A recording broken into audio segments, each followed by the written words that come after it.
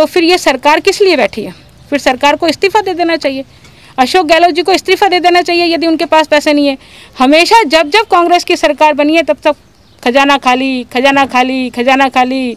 मोदी जी पैसे भेज दो, मोदी जी ये दे दो, मोदी जी वो दे दो, मोदी जी फलाना दे दो, मोदी जी डिमका दे दो। भारतीय जनता पार्टी के शासनकाल में पैसों की बौछार होती थी। और अब माननीय मुख्यमंत्री जी ने विधायक कोटे पर भी कैंची चला दी है। Delhi World Public School, India's number one emerging school, जहाँ है academics, sports and performing arts का बेहतरीन combination Admissions open from pre-nursery to 9th. सत्तर हज़ार रुपये स्वीकृत किए हैं जब से विधायक बनी हूँ मैं बताना चाहती हूँ कि ये जो सड़क देख रहे हैं कृपाल नगर की ये भी मेरे विधायक कोष से बनी है नालियाँ भी तब मेरे विधायक कोष से बनी थी और वो दानवल माथुर कॉलोनी की भी सड़क बनी है। ये कल्याणीपुरा मार्ग के सारे अतिक्रमण हटाने के बाद में ये रोड भी मेरे द्वारा बनाई गई और ये जीएसएस भी मेरे द्वारा बनाया गया। और अब ये रोड भी मेरे द्वारा बनाई जा रही है।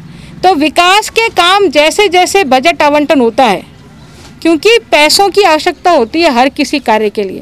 भारतीय जनता पार्टी के शासनकाल में पैसों की बौछार होती थी और उस बौछार के कारण से ये दोनों बड़े बड़े मार्ग लगभग 50-50 लाख की लागत से बने और आने वाले समय में हम लगभग 20 लाख रुपए की लागत से दानमल माथुर कॉलोनी का, कॉलोनी की सड़कों का भी निर्माण कार्य का शिलान्यास शीघ्र ही करने वाले हैं।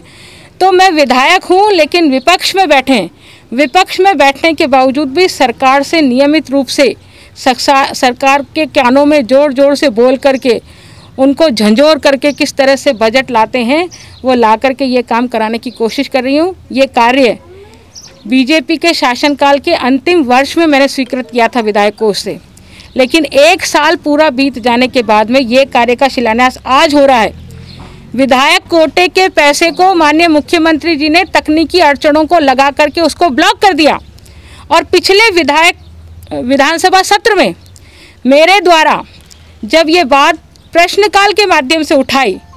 तब ग्रामीण विकास मंत्री, जो कांग्रेस के प्रदेश अध्यक्ष भी है, सचिन पायलट, उन्होंने विधानसभा में खड़े होकर के, विधानसभा के पटल पर मुझे और पूरे सदन को ये आश्वस्त किया था कि अनीता बदेल जी के विधायक कोष से जो भी कार्य स्वीकृत हुए हैं, उनको छः महीने के अंदर अंदर करा दिया जाएगा।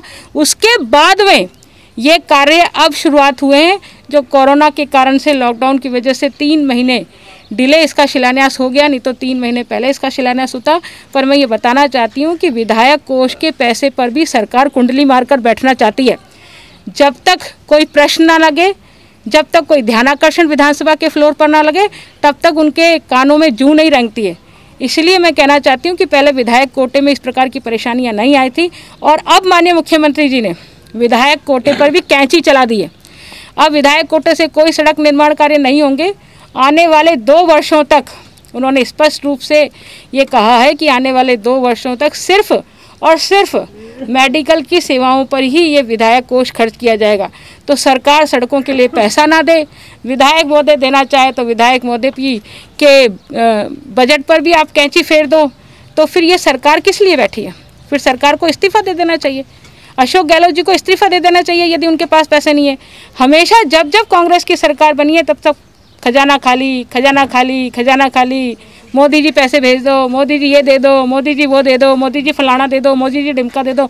मोदी जी के तकाल में ही पहली बार ज़ीरो बैलेंस वाले खातों में पाँच पाँच सौ रुपये आए नहीं तो ये हिंदुस्तान का इतिहास है इतिहास। कभी किसी के खाते में आज तक एक भी फूटी कौड़ी आई हो, नरेंद्र मोदी जी के शासनकाल से पहले तो कोई मुझे इतिहास के पन्नों को पलट करके निकाल के दे दे कि ये हमने उस समय दिया था। इसलिए मन दुखी होता है और इसलिए गुस्सा भी आता है इस कांग्रेस की सरकार पर। पर निश्चित रूप से अजमेर दक्षिण की विधायक होने के नाते से जनता का नेतृत्व करती हूँ और करती रहूँगी। जनता की हर समस्या में उनके साथ हूँ और कहीं से भी बजट लाना पड़े, चाहे सरकार से झगड़ के लाना पड़े, चाहे लड़ाई करके लाना पड़ा, पर हम विकास के काम आने वाले समय भी कराएँगे। इतना ही कह करके मैं अपनी बात को पूरा करना चाहूँ